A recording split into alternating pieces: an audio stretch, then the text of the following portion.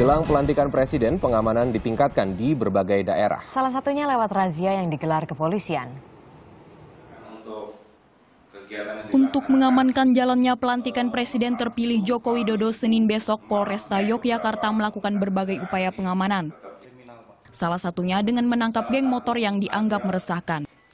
Geng motor ini tertangkap setelah merusak dan memecahkan kaca mobil seorang pengguna jalan.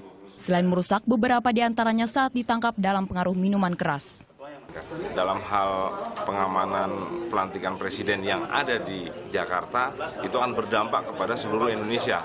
Karena itu presiden presiden kita kan gitu presiden Indonesia. Oleh karena itu semua wilayah wajib supaya kondusif sehingga eh, wilayah kota juga aman wilayah provinsi DIY juga bisa aman Razia juga dilakukan di Bekasi. Minggu pagi, kendaraan pribadi, angkutan umum hingga mobil angkutan barang diperiksa satu persatu. Yang diperiksa surat kelengkapan kendaraan hingga barang bawaan. Dalam razia ini tidak ditemukan satupun barang-barang yang mencurigakan. kita masih dalam operasi cipta kondisi.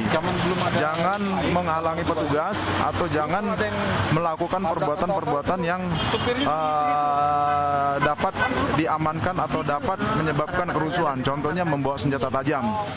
Senin pagi, Polresta Bekasi Kota akan menerjunkan seribu anggota kepolisian. Mereka tersebar di beberapa ruas jalan menuju ibu kota, baik di gerbang tol dan jalan utama. Satuan Polisi Lalu Lintas Polres Sukabumi Kota menggelar razia kendaraan di Jalan Lingkar Selatan Sukabumi, Jawa Barat. Sejumlah kendaraan terjaring razia. Selain memeriksa isi kendaraan, polisi juga memeriksa kelengkapan surat-surat kendaraan. Razia di Sukabumi dilakukan untuk mengantisipasi terjadinya gangguan keamanan jelang pelantikan Presiden Joko Widodo dan Wakil Presiden Yusuf Kala. Tim Liputan melaporkan untuk NET.